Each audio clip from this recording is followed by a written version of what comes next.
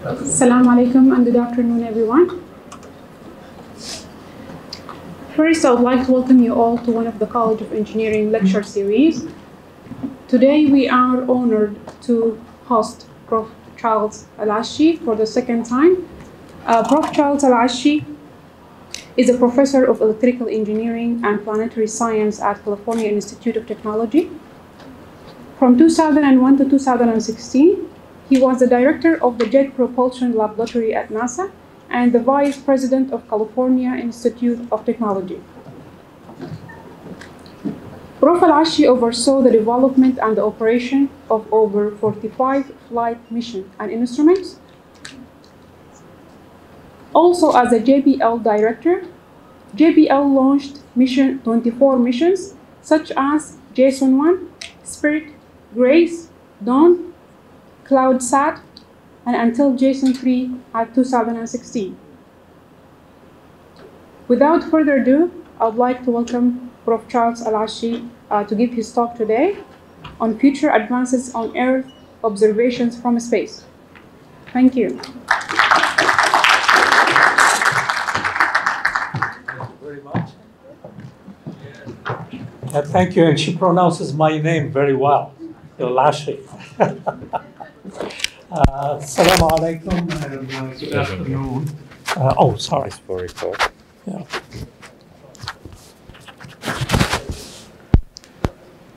It's uh, always a pleasure for me to come here. This is my second visit uh, in here, and uh, uh, part of the credit to go to uh, Nasreen El Saud uh, because Nasreen came and spent uh, five months working with me at Caltech, and she runs the show. She she ran a project, you know, that uh, for students, and she told me when I told her I came and visited Alfaisal University and gave a talk, she said, "Yeah, but I'm here." You know, I was not there, so you need to come back again. Uh, so what I'm going to do today, last time, if you recall, I talked mostly about planetary exploration and space exploration. Uh, today I'm focused more about our planet. And part of the reason I want to focus on our planet is, as you know, there is a lot of concern about global change, sea rise, uh, global warming, so I thought, particularly for young people like you, it would be good to really be familiar of what are we doing in being able to monitor our planet and monitor our environment, uh, and hopefully help the policymakers uh, and all of us uh, to work the policies which will allow us to protect our planet. So this is, uh, oops, how to get rid of this.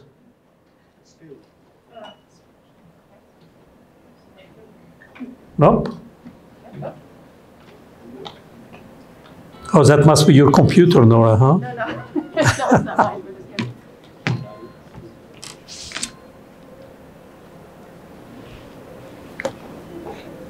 No. Hmm. Yeah. Maybe we'll take it. No? There we go. Okay. Thank you. So when you look at our planet, this was taken from a satellite, you don't see boundaries, you don't see countries. So we are all living on this, uh, on this planet. And so everybody you know, everybody you like, everybody you don't like, they are all living on this planet.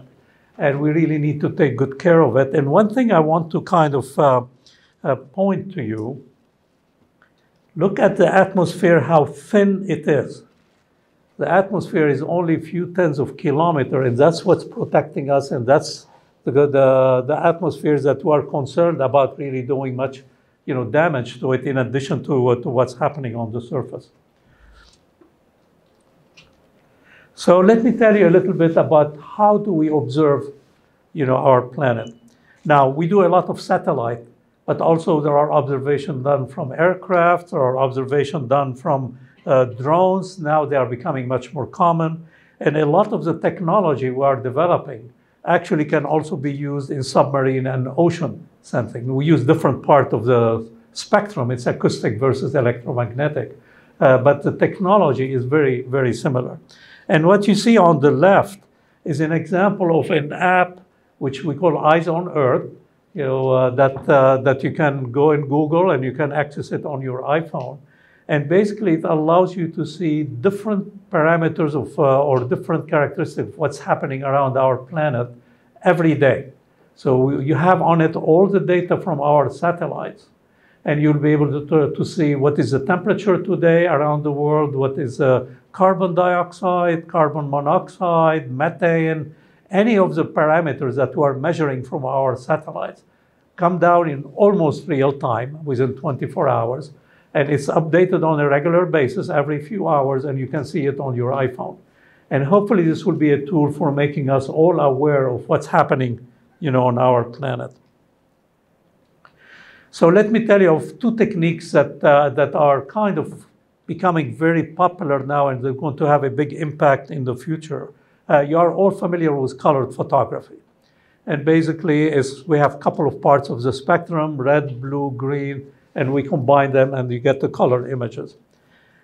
What we are developing now or, uh, or testing and will be flying in the near future are imaging spectrometer, which means instead of taking a couple of colors, we take 260 colors.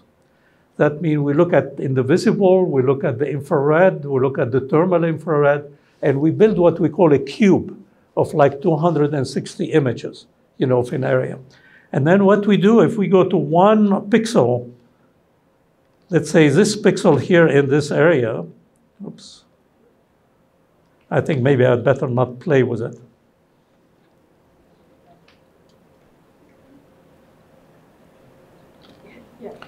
And if we go, oops, let me move to the next one. I'm learning, Nora, I'm learning how to use it. So if we go to one of the pixel, you know, in there and look around the depths of it over the 260 channels, we get a signature of the spectrum. And then from that spectrum, looking at the libraries that we develop, we can tell you exactly what's the composition at that surface. So you can map, like say, the kingdom, and every 20 meter, we can tell you exactly what's, what's the composition on the surface. Now that's of interest to mineral resources, but also it's interest if you're looking at vegetation. We can tell you what kind of vegetation is growing in that pixel. Is it corn or is it wheat? We can tell you the health of the vegetation because that impacts the spectrum. And we can tell you if there is need to be irrigating, if it's moisture or there is not much moisture in it. And we can do that worldwide every day on a regular basis. So this illustrates some of the new technologies that is coming online that we'll be using over the next, over the next decade. The other technique we, uh, is becoming more popular is using radar instrument. Now, radar will provide you, you know, with images. So what we do with the radar, we transmit a pulse and we wait for the echo to reflect from the surface and come back. And then we do a trick, I'm not going to describe it to you necessarily, but you can go and Google it, what we call synthetic aperture radar, where we take series of these pulses, and by combining them, we can generate an image similar to the image that you get from a camera, except in this case, because we are using radar and microwave, number one, we're using our own signal that we're transmitting, so we don't rely on the sun to illuminate the surface. And then also because it's microwave, it can see through clouds. So that means we can get images all the time. It doesn't matter if it's cloudy or not cloudy, day or night, we can image the surface. And to give you an idea about what these images look like, this is an example of the image over the Los Angeles basin. So at the top, you see the Long Beach Harbor. At the bottom, you see the island of uh, Catalina for the people who are familiar with that area. But what I want to illustrate to you, look at all the ships in the harbor. So we can actually image the ship and keep track of them. And you can see some of the ships actually have, have a wake behind them so we can tell in which direction they are moving. So this will allow us to monitor the traffic of ships uh, on a regular basis, every day, day or night, you know, again, on a worldwide basis. But also as scientists who are interested, you see features in the ocean. These are reflected on the currents which are happening in that ocean, in the waves. So a lot of the oceanographer use this basically for predicting, uh, you know, where the currents are in that area. So that's one illustration of what this kind of radar technique can do. And to kind of show you the images, this is, these are kind of uh, These are radar images. They look very much like a camera image. If I didn't tell you this is radar, you would have believed me. Uh, these are lakes up in, uh, in Alaska. And the color here is not the color that you see with your eye, but because we use different part of the microwave spectrum that you don't, we don't see with our eyes, and we give them color. And then also we can do polarization. So like you use polarized glasses, and the polarization give us more information, you know, about the surface.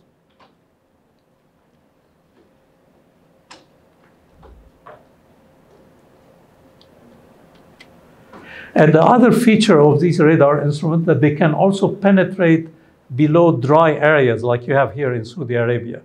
This image was taken from the radar over northern Egypt, uh, sorry, over northern Africa, in southern Egypt, next to the next to the Libyan border. The yellow image is a visual image taken with a camera, and you can see it's all looked like sand. In the middle, you see a strip which was taken with the radar instrument, and all of a sudden you see what looks like a drainage channels. So what turned out, to make a long story short, that the radar signal is seeing through the sand, down few meters below the surface, and is mapping the rivers which used to exist during the pharaohs and during the old days before the area got covered, you know, with sand. So this allows us to map the drainage channels which existed many thousand years ago below the surface. And this is of interest. Archaeologists are very interested in it because uh, that allows to see old ruins.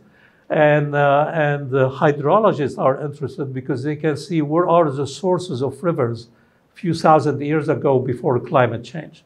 So one of the things that we'll be doing on a mission coming up that I'll discuss uh, shortly is we'll be able to map all the kingdom and be able to see all where all the rivers used to be in the kingdom and possibly some, uh, some archaeological area. Matter of fact, we did a major project in Oman. If you go in and Google the city of Ubar, which was mentioned in the Bible, and that used to be a major trading, you know, city, we actually now is becoming one of the archaeological sites that people visit, and that was kind of uh, discovered or mapped using this kind of techniques. And then also we can do three-dimensional images. So this image of the Los Angeles basin was taken from a satellite radar using a technique we call interferometry. And so now all the images, when you look at 3D images in Saudi Arabia or anywhere, they came from that instrument.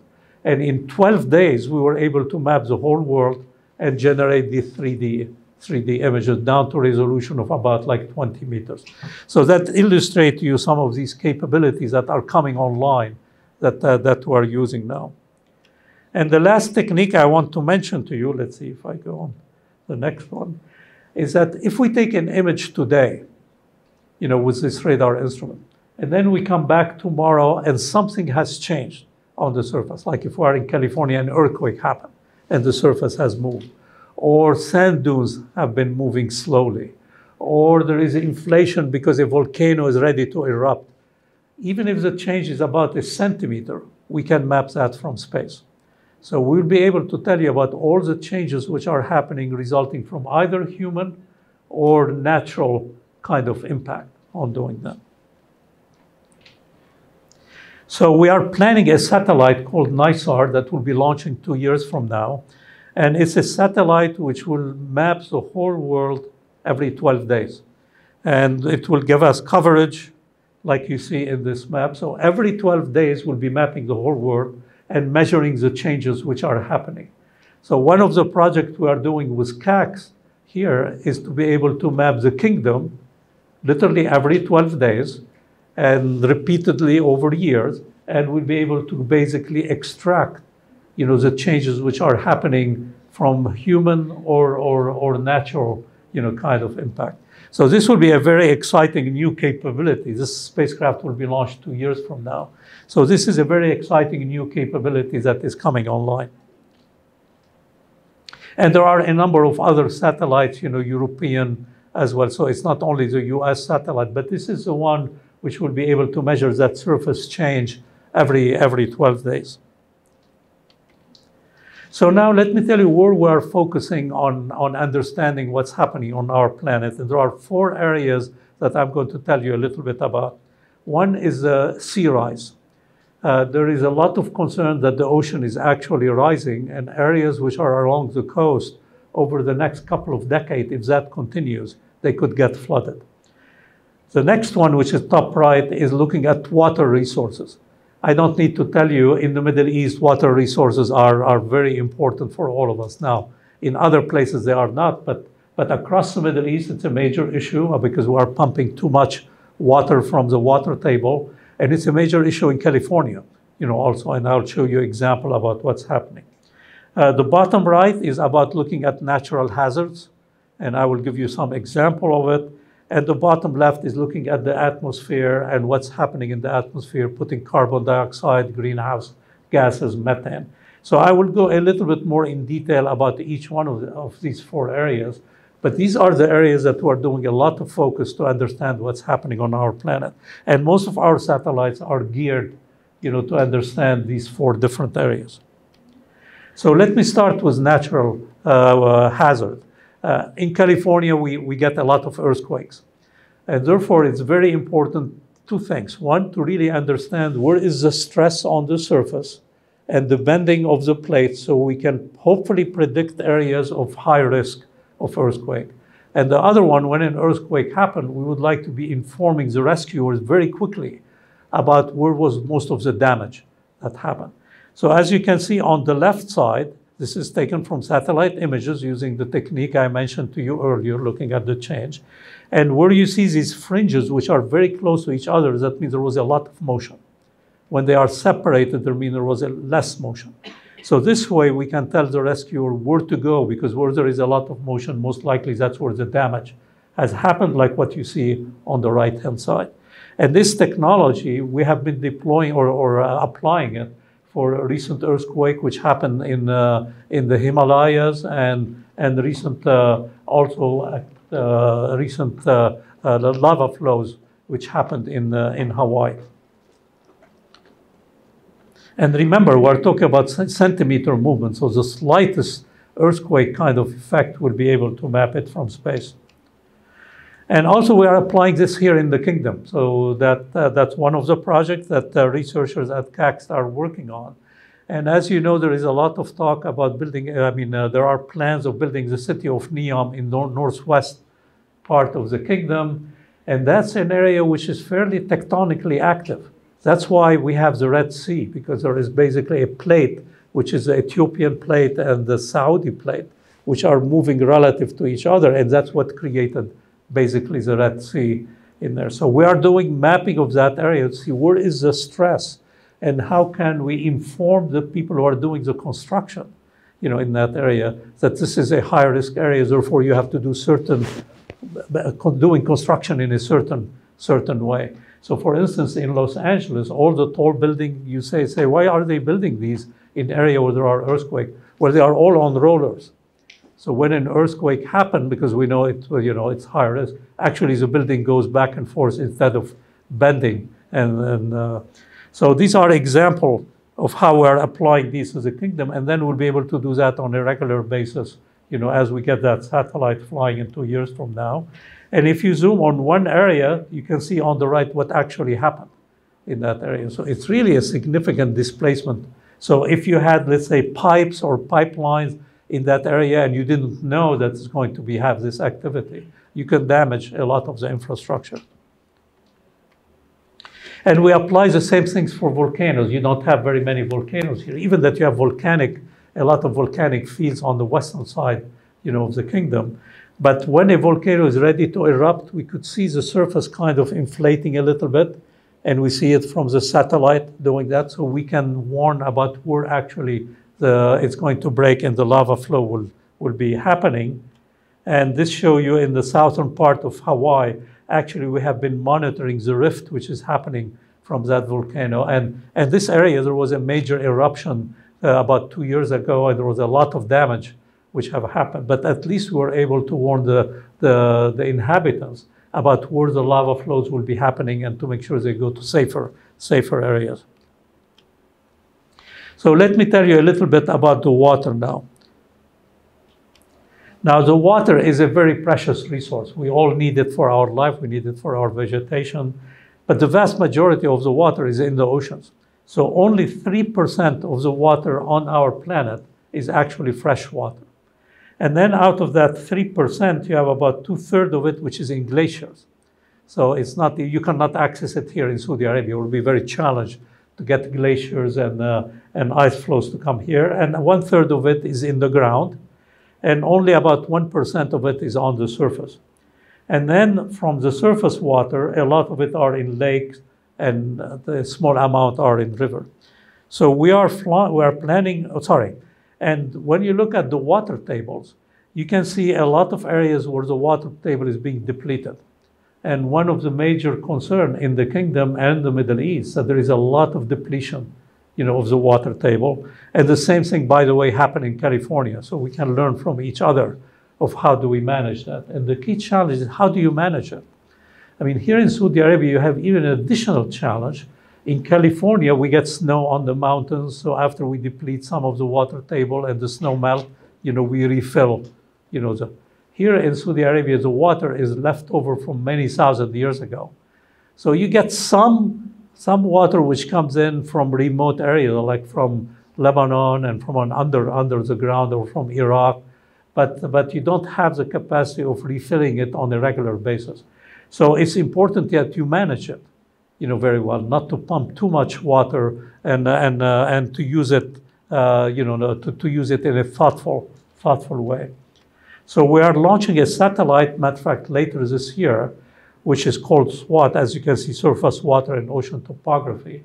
And this satellite will map on a regular basis where the water is, how much water is, how much we are losing, how much water we are actually losing in those areas. And it's a joint project with the French Space Agency. And then we have another satellite, which is called the GRACE.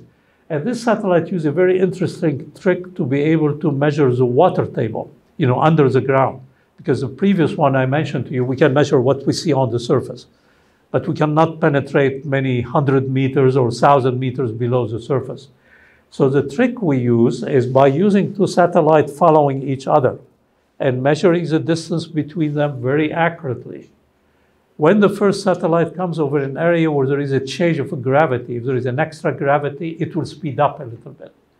And then when the next one follows it and feels that gravity, it catch up with it. So by measuring the distance, we can determine the gravity field.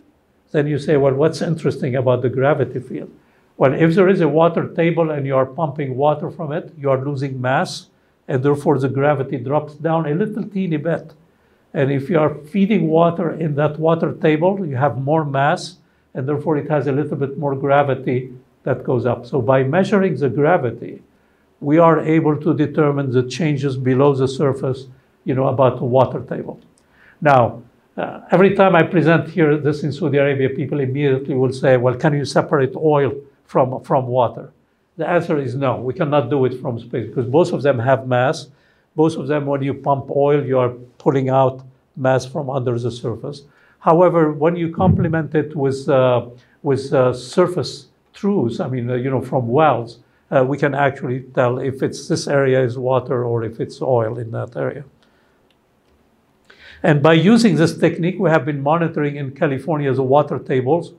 As you can see in the bottom left picture, you can see the water table goes up and down, up and down, because in the winter we get water from the Sierra. In the summer we pump it for agriculture. But on the average, it's going down.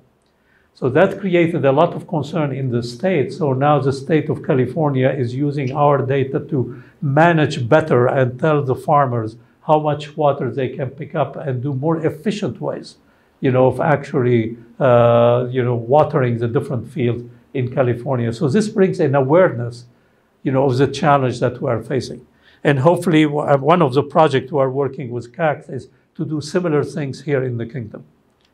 And this show you over long term, as you can see, the loss of water that we had over the last uh, 20 years, you know, over the whole part of the Central Valley in California. So that's what created the awareness in the government agencies that we need to do a better job in ma managing our water. And this is worldwide. So here you can see the changes which were happening. And as you can see, in the, particularly in the Middle East, there is a lot of loss you know, of water, as well as in California. In other areas, there is an increase you know, in the water mass. Now, another way we are using it to be able to measure also water close to the surface is uh, this synthetic aperture radar I mentioned to you earlier that will be mapping the world every two weeks. And this shows you an image of the Los Angeles basin. And what you are seeing here over a period of six years, the changes in the surface. Because when we pump water from under the surface, the surface subsides a little bit. And then when you inject water in it, it moves up a little bit. So this actually tells us how Los Angeles basin is breathing because of the pumping of the water and in some situations the pumping of the oil because we have a number of oil fields in that area. So two years from now, we'll be able to do this for the whole kingdom. So you'll be seeing across the whole kingdom down to centimeter, how is it breathing? So you, you would think things are not moving because you don't feel them moving, but in actuality, things are moving under your feet, up and down, depending, you know, what's happening below the surface in that area. So this will allow you to basically observe all the changes which are happening in the kingdom on a regular basis. The other thing that we can do also from space is to measure moisture in the ground. So we can, because what happens when you have water, when, when the soil is wet, its reflectivity is different than when the soil is dry. So that will allow us to monitor not only locally but globally about the surface moisture. And let me give you an example. You can see here at the bottom a storm which was passing over Texas. At the top, you see the soil moisture that we were mapping from spacecraft. And as you would expect, when, the, when it comes in and rains, the surface is more moist. And then we can do it worldwide. So this one for a week in June 2015, it showed you where the soil moisture was. Not very much in the kingdom, but, uh, but we can monitor it. And this is an example in Australia where we actually monitored over a period of four weeks, and it will show where the moisture is in one week, and then how it dried up the following week, and then it moistened again, and then it dried up. So you could imagine things of that nature would be of great value for farmers, you know, people who are doing farming and irrigation. Now let me move a little bit and tell you about the ocean rise or the sea rise. In actuality, you, you do hear about it, and it's true. Now there are many people who are skeptical, but in actuality, when I show them this data, then they start believing it. If you look at the bottom right, and we have been measuring that for the last 20 years. We have been measuring the average height, you know, of the ocean down to about a millimeter.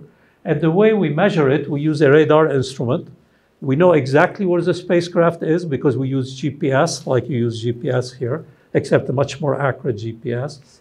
We send a pulse down to the surface, and then we wait and see when the echo comes back. And we know exactly how fast it's, it's traveling. It's like the speed of light, 300,000 kilometer you know, per second. And by measuring that time delay, we can determine exactly where the surface is and reference it to a, what we call a geodetic frame that's relative to the center of the Earth. So the, the ocean is rising on a few millimeter per year, but after 50 years, 60 years, and this has been happening for the last two decades, you can end in many meters of increase in the ocean, and many areas around the world are less than a meter above the surface.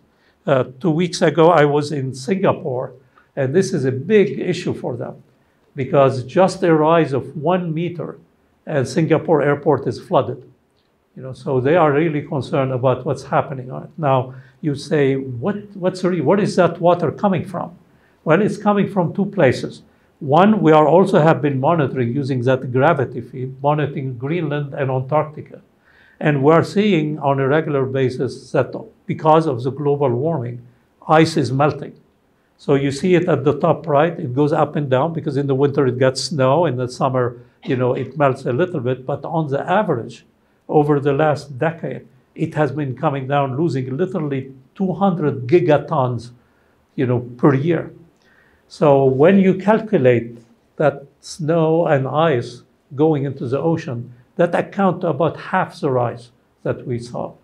The other half, we can calculate it as the temperature increases the water expand a little bit, like anything when, when you heat it, and that accounts for the other half. So we know exactly what, what led to that increase in the, in the ocean. And, and basically, the bottom line, it's all coming because of the, the heating of our atmosphere. That's what melts the snow, and that's what expands the water. So that's why you hear, you know, particularly recently in, when we're in England, that there is a lot of concern to keep our temperature change at less than one or one and a half degrees because it lead to all of these effects. You say, big deal, one degree. You know, okay, it will be a little bit warmer. Why are we worried about it? Well, we are worried about it. It could, could melt a glacier, it could melt ice, water will get into, into the ocean, and it lead to ocean rise, you know, worldwide. So it will impact, you know, everybody. Now, the reason I want to show you this, particularly in a university environment, this is a mission which we launched a couple of years ago. This whole spacecraft, I could have brought it in my suitcase. And that's what's happening in the advances in technology that is allowing us, oops, that is allowing us to actually uh, fly small satellites which are highly capable. This satellite was used with radar instrument to map the rain. So what you can see here, as you see along some of these tracks, you see the, the precipitation which was happening, you know, in that area using that satellite system. And then we developed another satellite system which we use a microwave emission. So the emitted microwave from rain area is different than if it's not raining, and we can map the rain with that capability. So what we are doing now, oh, sorry, and to give you an illustration, that's what the whole satellite looks like. And now you have many universities in the US who as projects for the students is to go and build spacecraft like this. And that's coming because the advances in microelectronics, the amount of power you have in your iPad, in your computer. In my younger days, we had none of this stuff. You know, I mean, a radar instrument like what I showed you here would have been the size of a room. So now we have been able to really miniaturize, like what's happening with your iPhone, moving from an IBM computer which used to fill a room in the 50s and the 60s to now you have more power in your iPad and your iPhone than before. So that's enabling this capability. And many universities are actually have student projects. So hopefully for years, if your faculty are interested and, uh, and the students that are interested, you'll be able to build your own satellite, you know, and launch it. And the reason I was in Singapore is we are going to use this technology to better understand, you know, the, the what we call the convective clouds, you know, which are in the Pacific. Uh, you know, the Pacific is huge. We know very little about the rain and the clouds and, and the, the updraft which are happening in the Pacific. And what these spacecraft will allow us is to map the updraft every day. And the reason the updraft is important is as you know, you have the, the, the air moving up, it sucks, you know, the moisture with it. That sucks heat. That's what leads to hurricanes. And then, but as it sucks moisture, brings them up to the upper atmosphere. So now you have water droplet in the upper atmosphere, and that reflect more of the sunlight. And therefore, it could have impact on the heating, you know, of our planet. Let me at uh, the fourth one is on carbon and what's happening in the atmosphere, not only carbon, but gases in the atmosphere. This is, we are able now to monitor, and that was taken from your, uh, you can look at your iPhone on Eyes on Earth, and it will show you where is the carbon dioxide, you know, worldwide. And we have been monitoring this for years, and the carbon dioxide is steadily increasing, you know, on our planet. And that's creating a larger greenhouse effect. Now, the reason carbon dioxide heats our planet is similar to if you leave your car out in the sun and you have your window closed and you come back two hours later. It's very hot inside, hotter than outside. And the reason is that the sunlight goes through the glass, heats the inside of your car, but then when the energy or the thermal energy, the heat is trying to go out, the glass is very opaque for heat. It doesn't let heat comes out. That's why your car gets gets pretty hot. That's why you leave the window open, you know, on it. The same thing, carbon dioxide. It lets the sunlight comes in to the surface, it heats the surface, and when the heat is trying to get out, carbon dioxide blocks it. And that's why it's called the greenhouse, you know, uh, gas on it. And that has led to a regular increase. So if we don't minimize or, or reduce our carbon dioxide in the atmosphere, we're going to keep being heating and heating and heating like your car parking. And And one I want to end by showing you one last thing because that's kind of interesting. Uh, is uh, uh, methane? We think tend to think about carbon dioxide. Well, it turned out that methane is also a greenhouse gas. Matter of fact, it's far more powerful than carbon dioxide. There is not as much of it, but it's far more powerful. So there is a lot of interest here in the kingdom. We have been interacting with Aramco. They would like to know where, because methane comes out mostly from the oil refinery, oil pipeline, and so on. So the so the they are very would like to know where are the leaks which are happening, and it's you know they have a huge network of pipelines. or the oil companies have huge network of pipeline. So this will allow them to monitor it, you know, from space and determine where the leaks are. Well, there is an additional feature I wanted. The reason I wanted to show this to you. Now, up to now, most of the satellite monitoring the environment are done by government agencies. But then recently, in the last few years, many commercial companies, you know, particularly startups, are doing similar satellites and flying them, particularly these small satellites that they can do fairly easy and, and sell the data. Now there is a new feature which is happening on this specific satellite that here there are philanthropists. They are concerned about the environment and they are putting their own money to actually fly satellite like this and make the data available to everybody.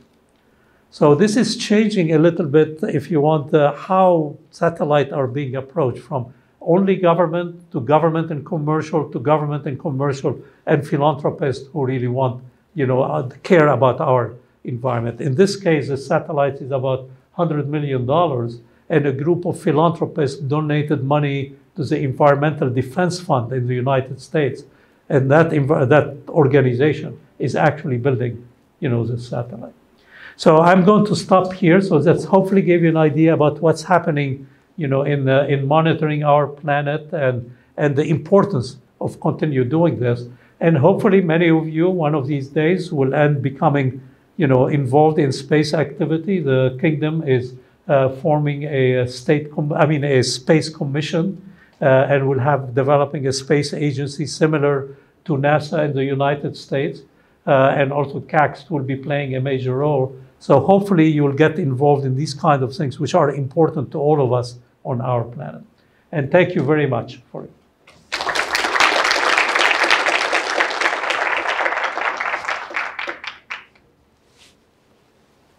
I guess, do we have time for to answer a few questions? Okay. Much, All right, thank you very much, everyone. Um, now the floor is open for questions. If you have any question. And if you are shy about asking them, I will stay around for a little bit after, so you can come down and we can talk. Sorry, go ahead. You mentioned something about uh, beyond visible. You know, uh, something about what's beyond visible. Like oh, I see. Go, you can penetrate yeah, yeah. Uh, microwave uh, uh, to detect to detect uh, the composition of. Yeah, I mean that's these radars. That's how they work. Is is using microwave, but now with the technology, we can go at any part of the spectrum. Not only visible and not only microwave, but also infrared. You know, which will tell us about the heat emission. Uh, but for penetration below the surface, only the microwave can do that. You know, because uh, you know, visible. Let's say if you are inside your house and somebody shine a light outside, you don't see it if, every, if the windows are closed. But your TV will work, and your radio will work, and your iPhone will work. Even if you are in a cave, it will work because the microwave actually can penetrate through that. So, so it's really only the microwave that can do that. So my question, how deep can the microwave go? How deep? It depends on the, the area. So for in the area like in Saudi Arabia where it's very dry, uh, you can penetrate four, five, six meters. Not much more than that. Uh, in areas which are very wet or the humid, we don't penetrate much because because the water molecule absorbs, and that's like why your microwave oven works, is because whatever you put in it, if it had any liquid, it absorbs the microwave and it gets hot on doing that. So yeah, it's only in very dry region, but you know a large part of the world is very dry. So most of the kingdom, we can penetrate many meters, you know, below the surface through the sand and actually see the bedrock, which is the, just below it.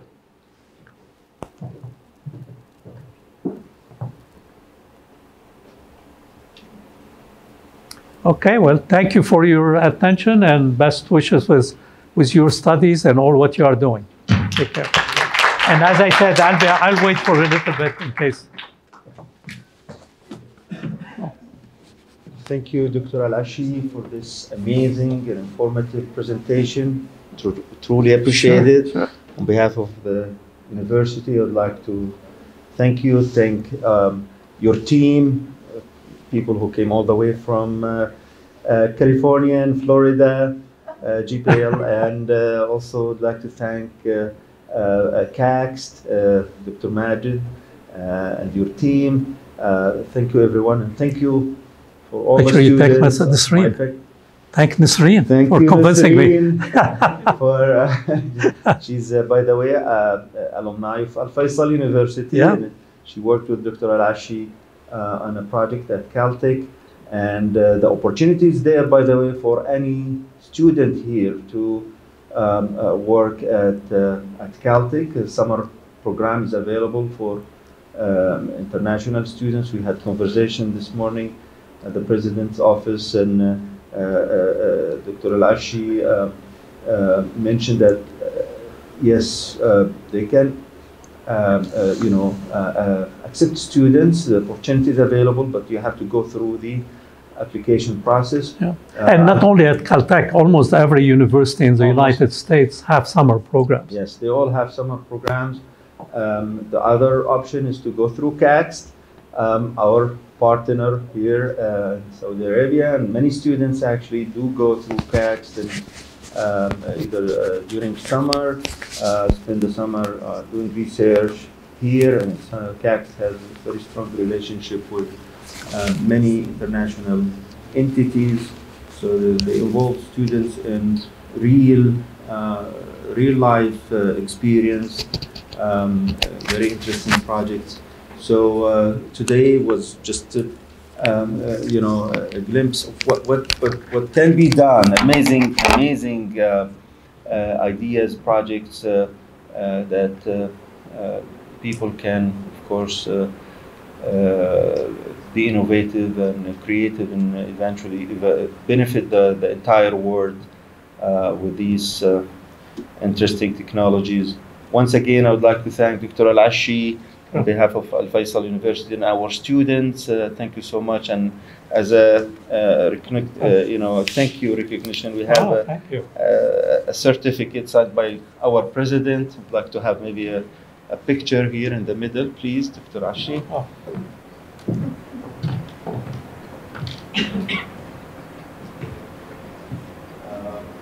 Uh,